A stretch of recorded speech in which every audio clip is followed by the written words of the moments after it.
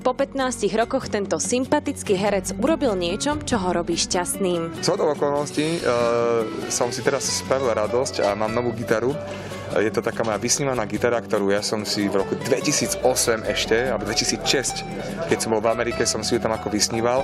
A teraz sa mi ju konečne podarilo doniesť eh, na Slovensko a je to úplne, že večer je to také, že keď mám zlý deň, tak eh, teraz si to tak predvedem, na sekundu si dám dole rúško, že mám že zlý deň, idem okolo tej gitary, že a idem ďalej.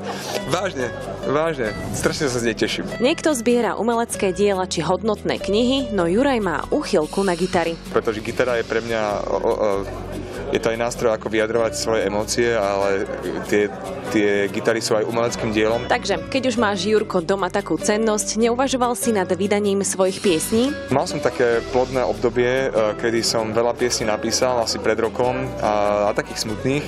Niektoré veci človek potrebuje zo seba dať von, bez toho, aby, aby o tom všetci vedeli. Je to jeho vlastný spôsob psychohygieny. Tá hudba je to jediné takéto moje, ktoré sa deje za zavretými dverami. Tam to asi aj dlho, dlho zostane. Možno nás príde čas, kedy si poviem, že to chcem dať svetu, ale momentálne to robím preto, aby som dal zo seba niečo von a pokojne stačí, keď to ostane v mojom byte. Martina Štefánková, televízia Joj.